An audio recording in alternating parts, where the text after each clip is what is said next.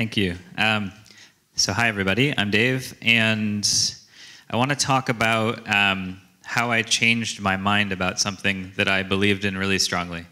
Um, and that's that I used to think that record and playback tools like Selenium IDE uh, were not worth using unless you were explicitly going to use them to export code and then write your tests in code.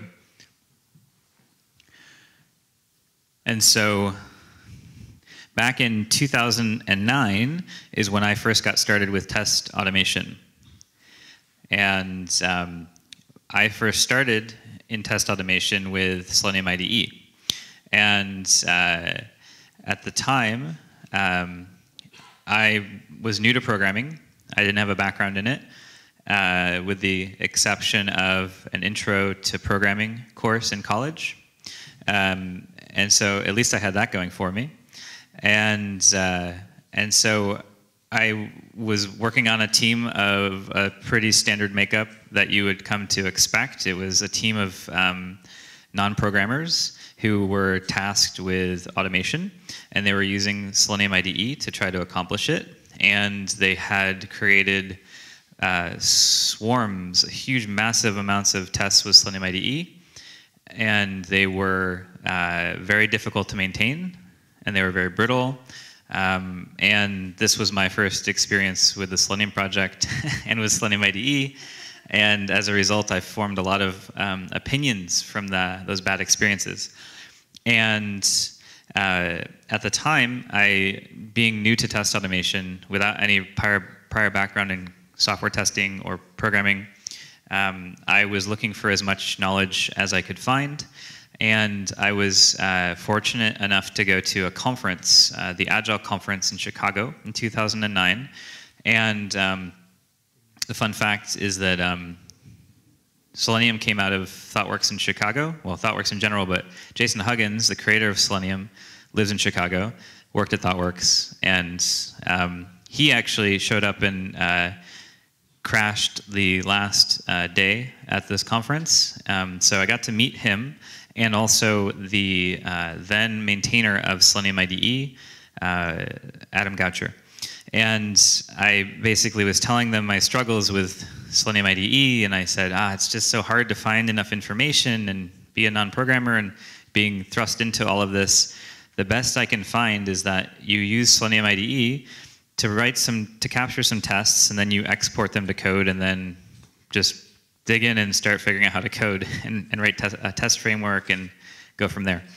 And Jason Huggins said to me, um, "Yep, uh, that's that's what you have to do. It's really hard, and keep going, and you'll you'll figure it out." and uh, and so I, I did that. I went back to work and I took everything I learned and I kept working at it and kept being frustrated and eventually things started to make sense and started to work and I was able to actually eventually achieve success with Selenium. Um, and that is what was the bedrock of where I am now, was that experience, that bad, frustrating experience with record and playback tools. Um, and I've gone on to do a lot of things with Selenium.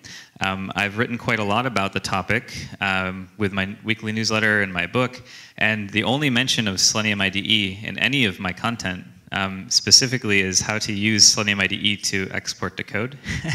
and and there have not been any necessarily positive mentions about the tool.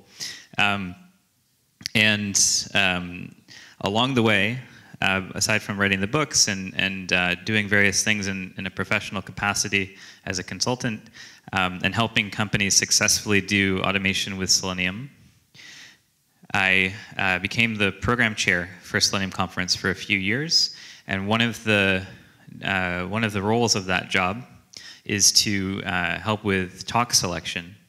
And uh, you do this long enough, and you start to see a lot of the same ideas that people submit, thinking that it's a new and unique solution to a problem.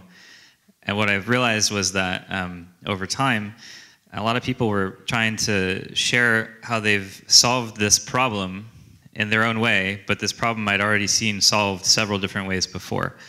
And so what I've started to realize is that I think everybody is, um, they mean well, They're trying to just do solve the problems that they have with the tools available, but they're all effectively recreating the wheel. And um, I think that uh, this is partly what changed my mind this idea that, well, if, if the problems have already been solved so many different ways, why can't we just solve them once and in a way that's not just approachable to people who know how to code, but to people who aren't comfortable with that path? And so that's where tools like uh, I think Selenium IDE, record and playback, can really uh, have an interesting place. And uh, the way that I start to ref uh, refer to Selenium IDE isn't necessarily as record and playback, because I think that it's actually more than that. Um, and I want to reframe people's thinking around record and playback because I think that there's a lot of negative uh, association with what Selenium IDE used to be and their experiences with it, and a lot of the stories that have been created in the industry. And so the, the term that gets used a lot now is codeless. And so uh, that also seems to trigger a negative reaction with people. Um, but I want to share uh, a comparison of codeless to things like NoSQL. Uh, the idea that not only SQL, people think NoSQL meant no more relational databases with SQL, but it's you can use SQL, you can do things beyond that. There's new technologies you can augment uh, relational databases with, uh, or and do non-relational databases and so on. It's just there's still SQL is kind of the point, and then serverless technology. Um, servers aren't going away, um, but a lot of the complexities of of all the infrastructure is abstracted away so you can focus on the relevant parts of what you're trying to do. And so I think that codeless fits in there. There's a lot of code. I can show you so much code in Selenium IDE if you want, but I'd like to remove the barrier to entry for, for people so that they can accomplish so much more and just focus on the task they're trying to accomplish as opposed to solving the, the meta problem of building uh, and solving these problems. And so um, also to kind of complement this, um, this thesis that I'm putting forward, um, there was this article earlier this year from the Creative Product Hunt, uh, Ryan Hoover. He talks about um, the rise of no code, and he talks about no code, codeless tools in the con uh, context of uh, software development. And so, whoa, that went fast. Um, and so I'll leave you with this quote. He says, Predictably, many criticize and judge those that use no code tools. While they come with trade offs, it's inevitable that more products will be built or at least MVP'd without writing code, including by programmers that can code. And I'm actually seeing this within mature companies with test automation uh, that leverage things like Selenium IDE to augment their test automation, even though they already have phenomenally mature um, test automation in code. And so I posit that the same thing that I'm talking about with test automation is also happening in just product development. And um, I think that it's helpful to have a rubric. Uh, I, if you've seen some of my previous talks, I kind of kind of fancy the idea of being able to have a, a way to uh, quantify and understand a topic so that you can know what you're what what is good basically. And so Angie Jones, uh, she inked this, she penned this uh, blog post, the 10 features every codeless test automation tool should offer. And I think it's a good litmus test for whether or not a tool is worthwhile. And I want to step through each one briefly, and then uh, from there, kind of segue that into some key features and highlights of what we have in Selenium IDE and the direction we're going that I think really speak to this list. And so the first one uh, is smart element locators. So um, it's, it's the most talked about topic in all of uh, test automation, it seems like, besides page objects, especially at these conferences. If it's not that, it's about locators, because without good locators, our tests won't work. Um, but historically, when you write test automation, you write your tests with a single locator. And with a good tool that's worthwhile, it should ideally do more than that, use more than just one locator. Um, and be intelligent about potentially retrying if the first locator wasn't successful and and go from there. So that way, if a test runs and it just if the UI changes slightly, the test shouldn't just break, especially if the functionality is still there and if a majority of the elements are still present. The next one she mentions is conditional waiting. And so the other thing besides locators and page objects that's often uh, talked about quite a lot is um, wait strategies, synchronization within your tests. And in Selenium specifically, there's always this conversation around implicit versus explicit waits and which is better, whether or not to mix them, and so on. Um, but a good codeless tool just hides this from you. Like it just should do it for you. Your test should work. It should be able to conditionally wait the appropriate amount of time. You shouldn't have to add any sort of sleep code yourself. You shouldn't have to force the test to wait a hard-coded amount of time. It should just do the right thing. And then um, control structures. So sometimes you want to do more sophisticated things with your tests instead of just having it be purely procedural, maybe you want to introduce some sort of control flow structure where you can conditionalize it, or maybe there's repetitive things that need to happen in your test and you want to have some looping structures. So a good tool would also have that. And you want to have the ability to add easy, reliable, powerful assertions. So not just asserting elements on the page potentially by their text or by some attribute tag, um, potentially being able to do more than that. And then modification without having to redo everything. So a lot of people I've talked to, uh, from the business perspective, they uh, actually a lot of people in general uh, who hold on to this old story of Selenium IDE, they view the tests that come from record and playback tools as throwaway tests. So a test that works now is great, and then when it stops working, instead of trying to fix it, just throw it away and re-record it. Um, and I think that we can do a lot better than that uh, with, with codeless tools. So a good tool will give you the ability to make sure that your tests are maintainable over time. And then um, having the ability to, on that same vein of maintainability, uh, have reusable uh, steps. So being able to take parts of one test and potentially, if it needs to be used in many, many places, have some form of abstraction. So cross-browser support, I think, is arguably one of the biggest things that's uh, critical for a good codeless tool. Um, it's one thing to be able to just capture a test and have it run on your single browser, but you want to be able to have it run cross-browser. It's table stakes uh, when it comes to test automation, um, especially with uh, with browsers. And so, um, reporting that's also important. Um, I think that you want to be able to, when there is a failure, uh, understand why it happened without having to dig into the app and, and try to recreate this issue, especially if the, the failure is transient, if it doesn't always easily reproduce. And then um, the ability to insert code. So have some form of an escape hatch if you've reached the limits of what the tool can accomplish. And a lot of times you see this with just JavaScript execution. And then uh, continuous integration. So being able to tie all of this into where you fit in the development workflow within your organization and your team.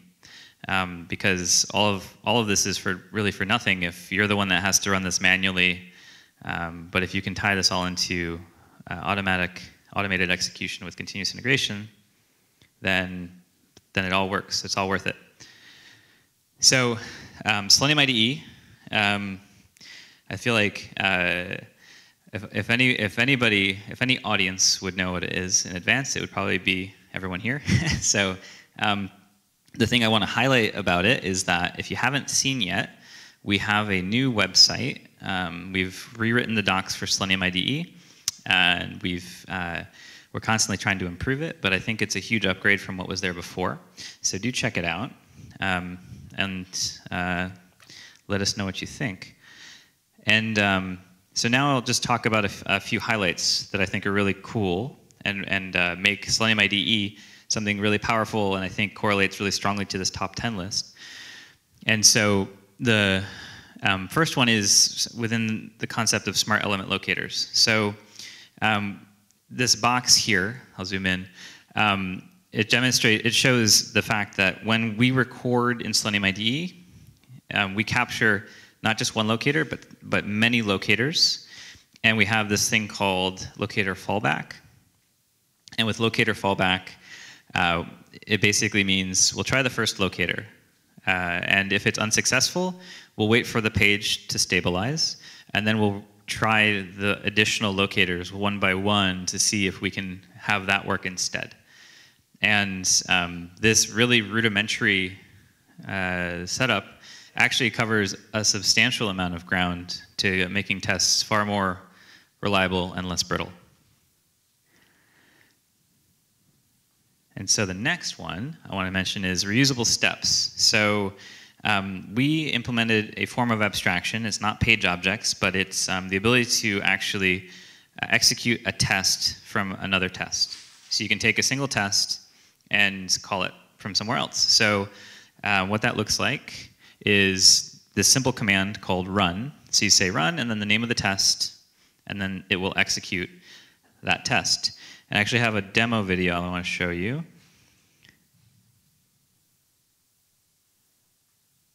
So here's an example of a simple login form. So I'll just fill it out and I'll submit. I've already actually captured this, uh, this test, so we'll go ahead and look at that. And we zoom in, we can see it's just opens, clicks, fills in text, submits. Um, but the thing that's unique is I've made, uh, I'm using variables for the inputs, and I've used, I'm calling this test, and I'm using the store command to set these values, and then calling login. And I'm doing that for a happy path test and a sad path test. So then I can go ahead and make a test suite of just those tests that call the run command. And now I have a suite that just does the right thing. And if the login page changes and, our, and the tests break, I just have to go to one place now to fix it.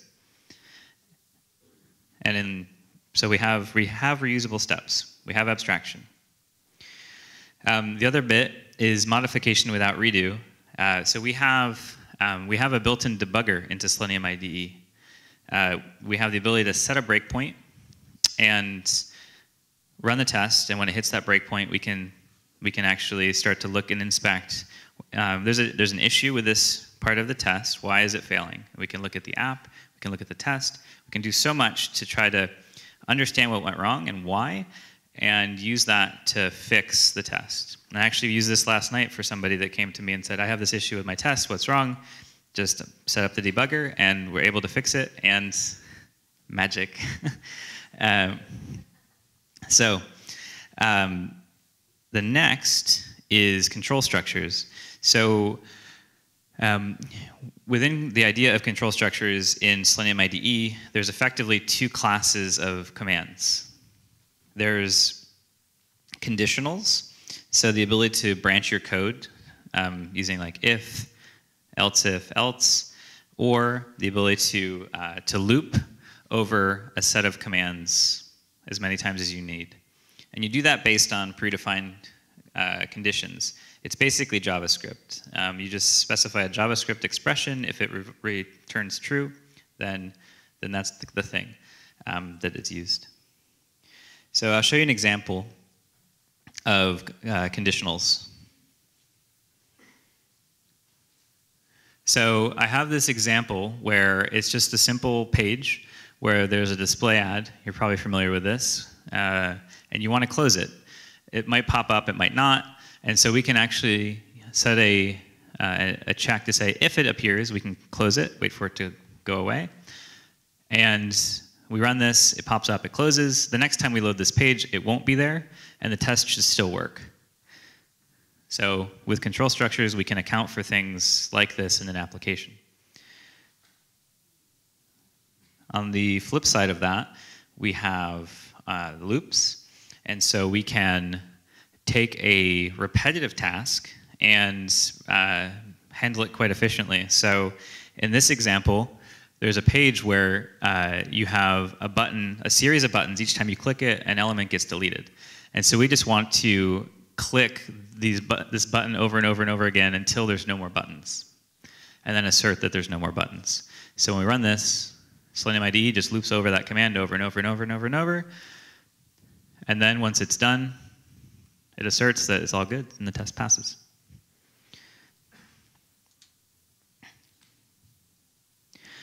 So um, that's all great. Um, so say you've created tests that are well abstracted and work well and they perform well for you uh, in Selenium IDE, but you want to run them on a different browser or you want to scale them out. Um, we have the ability to do that with the command line runner. So we have cross-browser support uh, and parallel execution, um, which is effectively a simple turnkey solution. Um, so all you have to do is save your project and then install the command line runner and then run it. And then, then you get all of that for free. Um, so here's an example of what that looks like in practice. I have a simple Google search test. Just goes to Google, searches, and asserts that it found what it was looking for. And I'm just going to use that same test three times just to demonstrate the, the parallel execution. I want to make sure that this whole suite executes fully concurrently. And then I'll go ahead, make sure I save it, and then hop over to the command line. And you just run it, you pass in the capability of which browser you want, and it runs everything in parallel. And I'll zoom out real quick, and you can see all three executing at the same time. So recorded and played back in Chrome to verify it works, saved it, executed it in parallel on a different browser. Turnkey.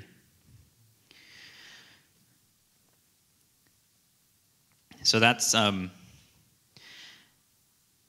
I think, probably one of the biggest features that we have is the Selenium command line runner. And so, um, but another key feature I think we have is our plugins. Um, we have this ability to not only extend, you could not only um, could you in a test use JavaScript to do more within the application, but we have the ability to actually enhance Selenium IDE through the use of plugins. So there's two different flavors of what a plugin can look like. So you either have user customizations, the ability to modify behavior within Selenium IDE to add functionality that doesn't currently exist, um, add new commands, uh, modify uh, different behaviors, um, or you have the ability to do third-party integrations, connect it with a service provider that gives you power that you wouldn't otherwise have in the tool. And it's worth noting that um, plugins work with the command line runner. So whatever works in the browser, in, in the IDE, should also work uh, in the command line runner. So um, what that, how that works is effectively Selenium IDE, um, when, it, when either you're playing back or recording, it's emitting a whole bunch of events. So it, it sends out a, uh, an event for whenever you start playing a suite or start playing a test or record a command. And also with that, it emits a payload of um, details about the test, all of the commands in it, the name of the test, all of these things. And so a plugin can choose to do some action against that information and put it to use. And so there's this distinction uh, within the between my uh, my colleague Tomer and I, where we always talk about um, standard lib, the standard library for, is what that's short for. And when we talk about standard library, we mean all of the things that are uh, part of the core of feature offering of Selenium IDE. All of the commands that just come bundled without any, um, just you get those when you install it. And then there's plugins. So we think that plugins are a, uh, a great testing ground to uh, put a new feature out in the world to get user feedback before deciding whether or not we want to put it into our standard library. And so with that, I have uh, an example of, of one of those such things. Um, I have an example of uh, how uh, one way we could potentially implement um, adding data-driven testing to Selenium IDE. And so it's one of, uh, one of the there's a handful of features that people often request, and this is one of them. Um, the ability to take a data file, like a CSV file, uh, and then make use of it uh, in, a, in a test. And so in this example, I have I just have a very simple CSV file with some usernames and passwords, sticking with this login example. And I have this plugin I wrote to upload that CSV file.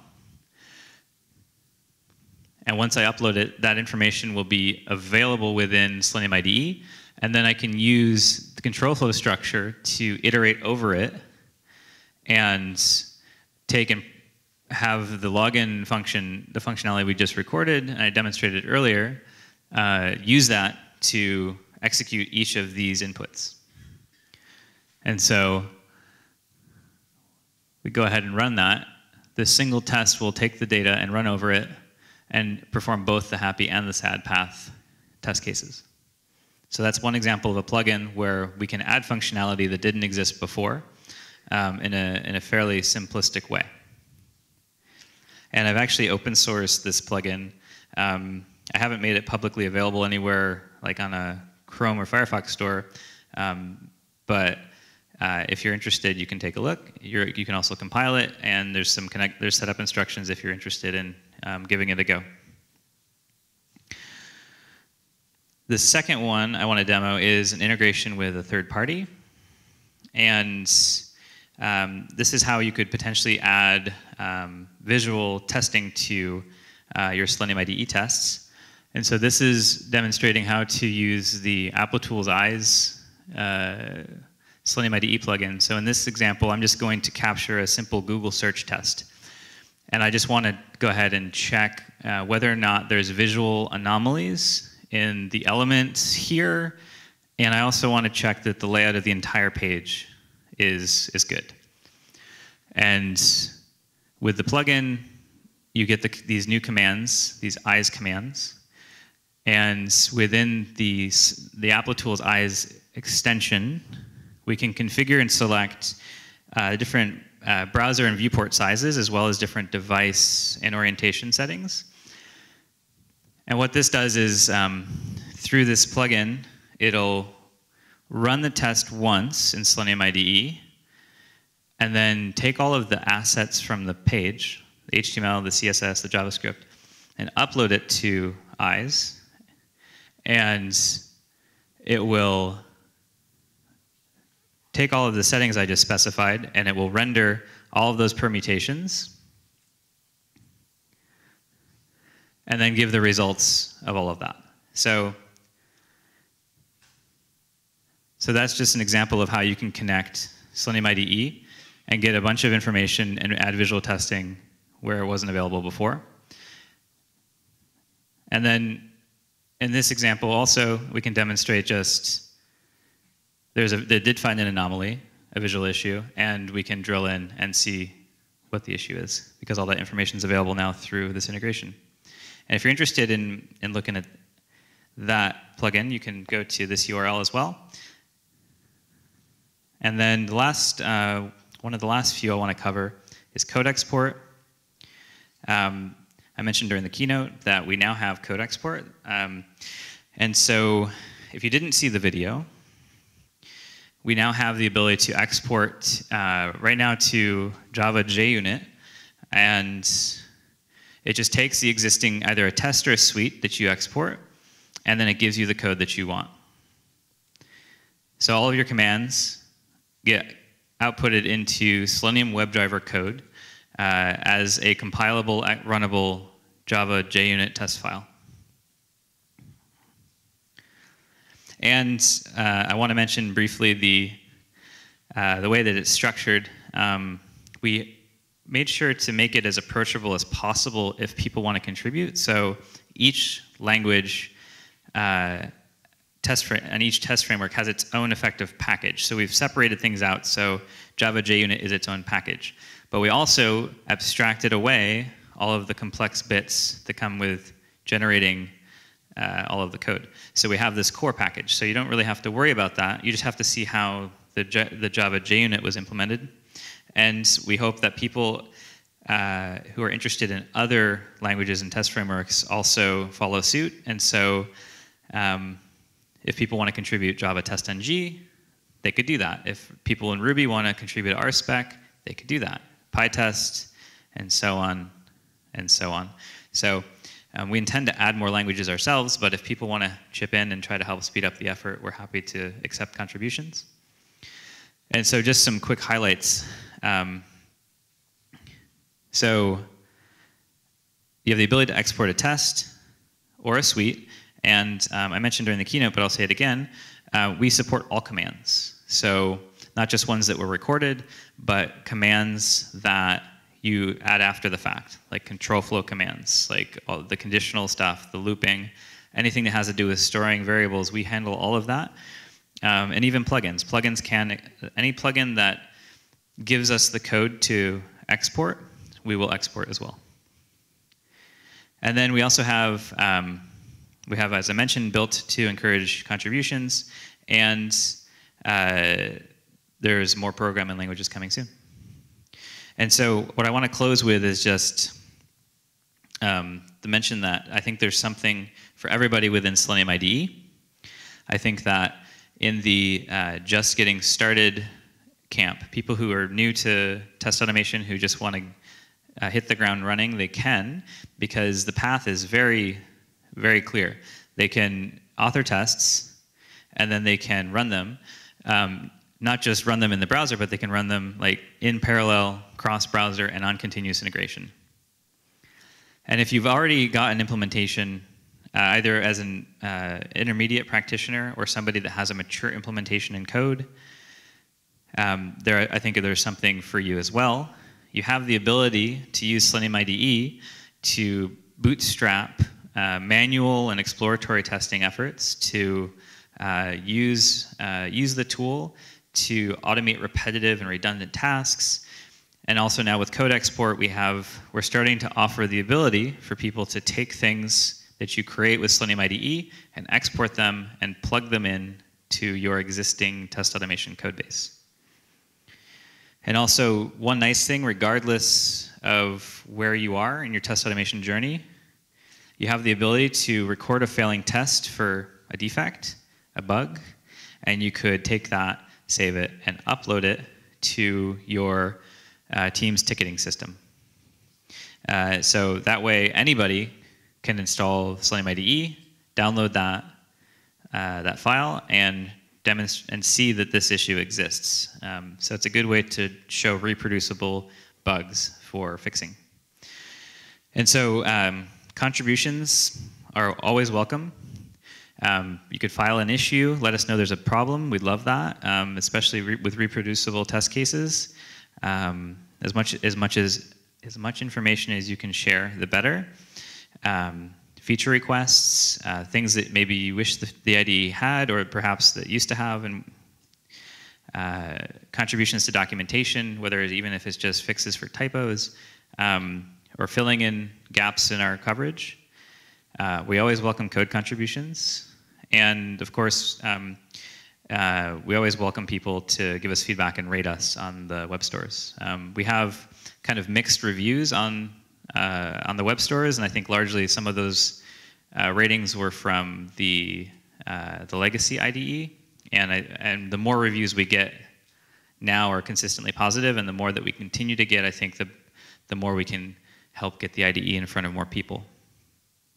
And so I'll close by saying I think that codeless test automation uh, is something that can be achieved. Um, because we have reliable and maintainable tools like Selenium IDE now that uh, have a powerful uh, integrated development environment that give us fast cross-browser feedback uh, that are extendable uh, through plugins.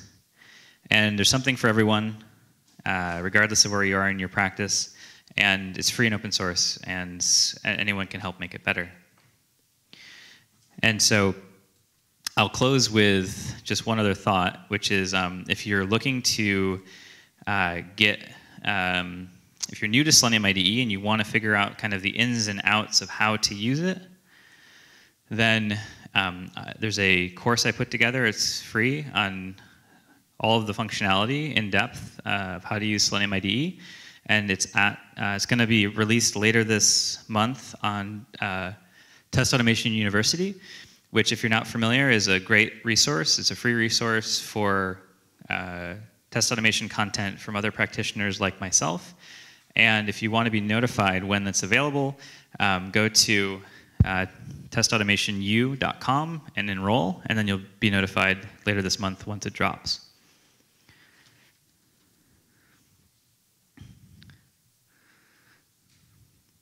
All right, thank you. Um, that's, that's it. Thank you, everybody.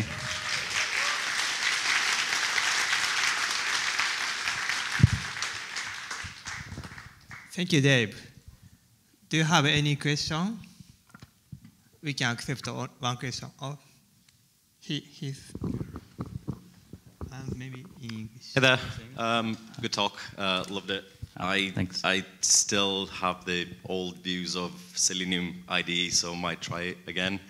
That's, See- that's, that's see- the best see- I could hope for. See what's changed. Uh, my question is: So, does Selenium IDE um, produce reporting? Um, you spoke that it's one of the key features. It's one of the key things that um, it's something that's on our roadmap that we don't have a clear sense exactly what that looks like yet. Um, so, uh, but I'd love to.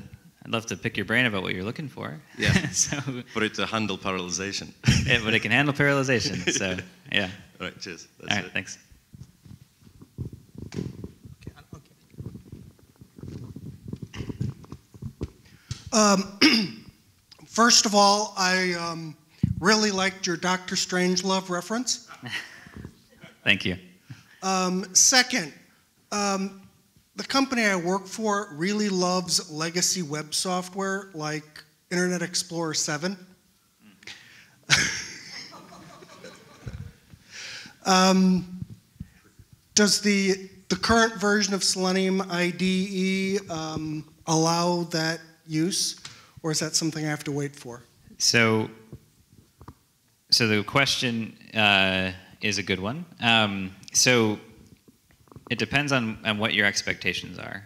Uh, so, um, you could author a test uh, in Selenium IDE, save it, and run it on Internet Explorer, but only versions of Internet Explorer that are officially supported by the language bindings.